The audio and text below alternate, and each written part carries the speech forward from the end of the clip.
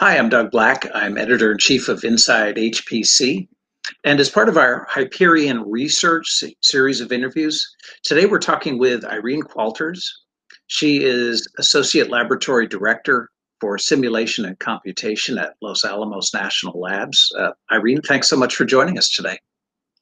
Thanks, Doug. It's a pleasure to be here. Thanks. So uh, I understand you run a rather sizable uh, organization within Los Alamos. If you could tell us um, uh, some of the project work that your group is doing and some of its more exciting potential implications. Uh, thanks, Doug. I've been involved in HPC for a very long time, and I've watched its evolution um, in in a variety of scientific disciplines. And uh, one of the things that is uh, particularly interesting and challenging for me is that uh, Los Alamos represents a very broad scientific and uh, HPC relevant uh, scope.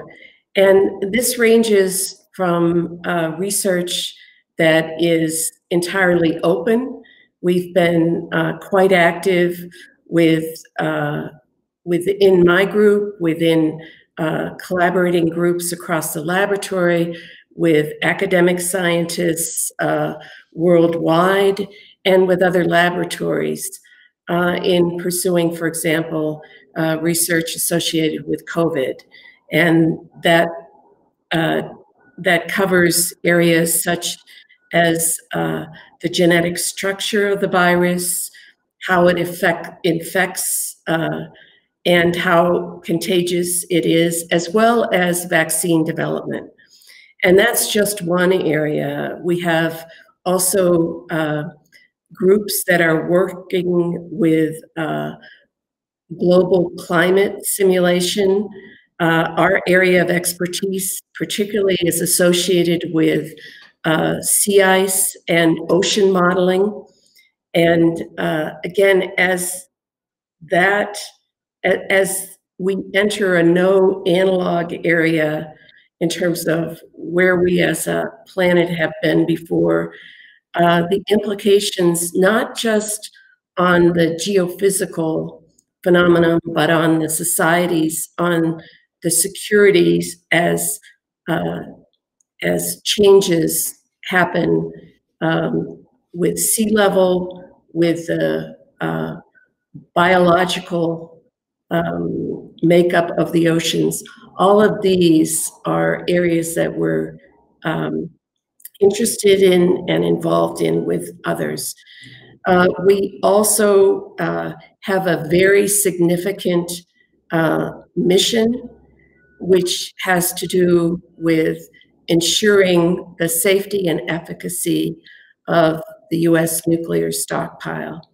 And there too, the challenges for the future are taking us into a no analog space where materials under pressure and over time have to be understood and we need to do be able to do prediction and in many cases we do not have the experimental data to support the theory and the uh, computational models that we're using.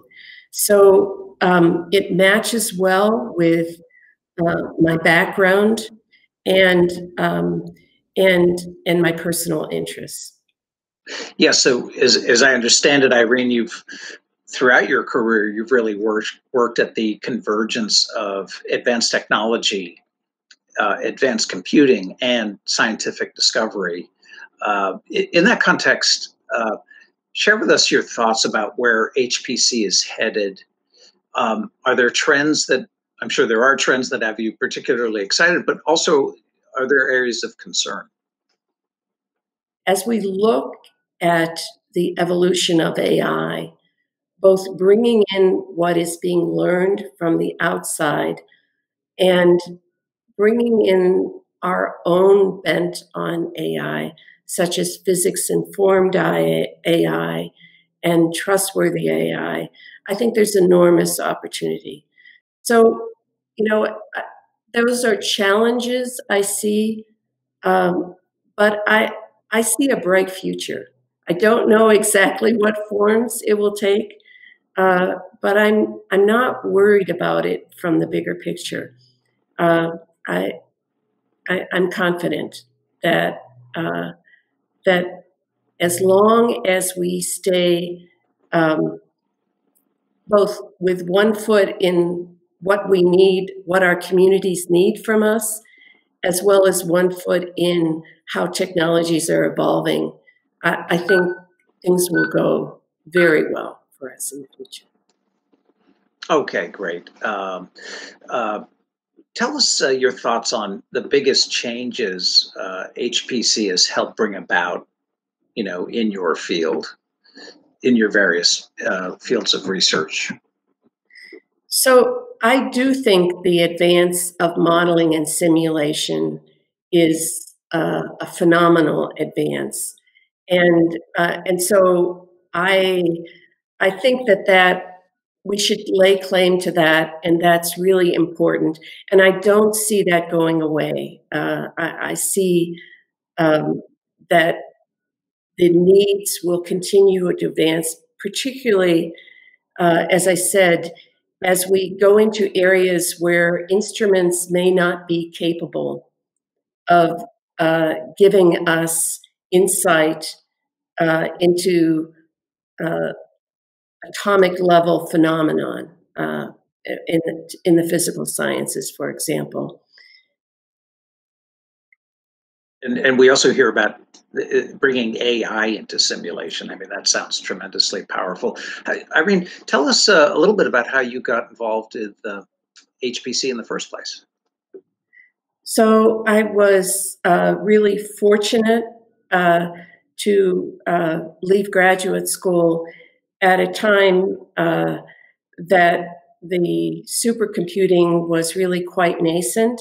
And uh, I joined a, a, very young startup company called Cray Research uh, at a time when it had less than 100 employees, and I was probably among the youngest. And, and that for an early career, and that's true today, uh, to be able to join uh, a group that has very senior, very experienced people in a in in a broad that have broad and deep knowledge. Uh, that's really a, a, a, career forming change because one can see how uh, mathematics influences physics, influences uh, computing. And so, um, so that was really my start. And it really uh, gave me both the confidence and the experience to be able to engage um, others in other disciplines and uh, to be excited and stimulated and confident about doing that. Um, I'm sure that was a wonderful experience. The uh, and, and, and, then, how did your career evolve uh, from there so that you uh, got to Los Alamos?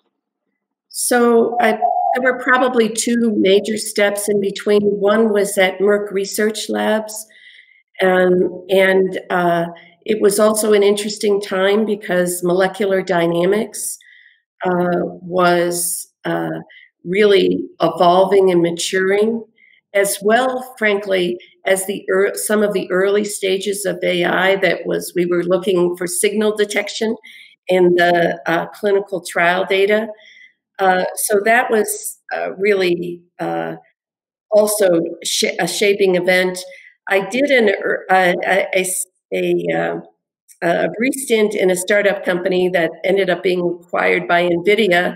And then uh, finally, I spent uh, over nine years at the National Science Foundation, again, reinforcing that cross disciplinary, that engaging with others. Uh, to, to really look at challenges that are kind of at the horizon level. Um, and so, and making sure that the role of computing continued to advance in a way that uh, could all of those disciplines.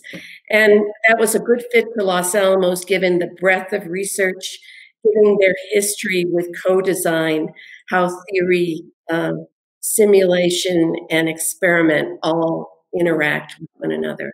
So it, it really is a good match. Um, and I'm excited about the challenges that we're engaged in and how we're going about it, the scientific integrity used to go about pursuing those challenges.